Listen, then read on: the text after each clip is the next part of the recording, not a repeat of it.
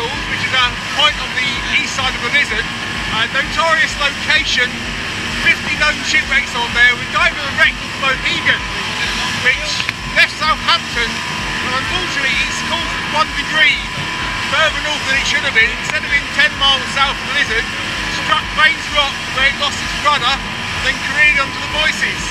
Now well broken, lying in between 28 and 22 metres, covering live of the best sights in the country.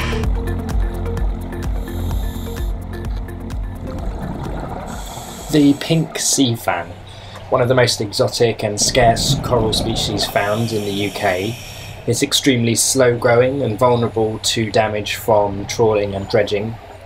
It lives in shallow rocky reefs in a few isolated parts of South England where the warmer water allows it to flourish.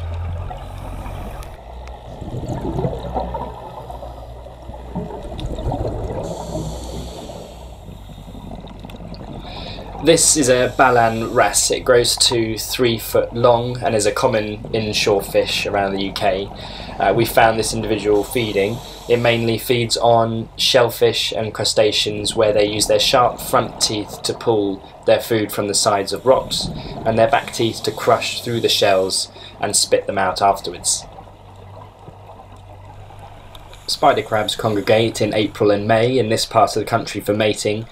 Falling victim to overfishing, their numbers have been decimated over the last 30 or so years. Go back only 50 years and this reef would have been teeming with huge schools of fish. Unfortunately, now this is what we see due to huge overfishing and poor regulation of fishing quotas.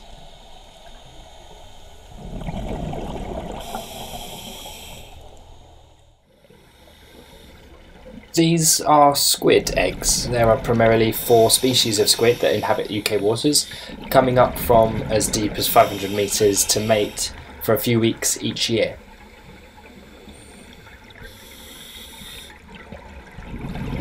Recent introduction of marine reserves is a step in the right direction and leaves us with some hope that our seas will be replenished with life, but it's likely to be a long and slow change in our behaviour before we see any difference.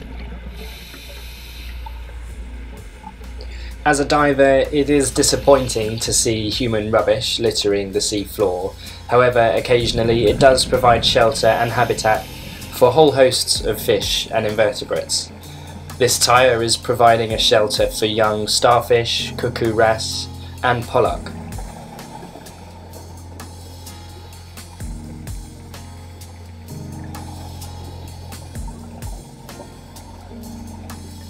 We've come to the end of our dive, it's time to head back up. It's been wonderful to see what we have down here, but it's also a reminder of how far we have to go in our conservation efforts. How was that, Jeff? Great, nice dive. Just, just asleep with the How you found your camera, it was brilliant. And did you get the wrasse? Did you get the wrasse feeding? yeah, Yeah, yeah, good. that was great.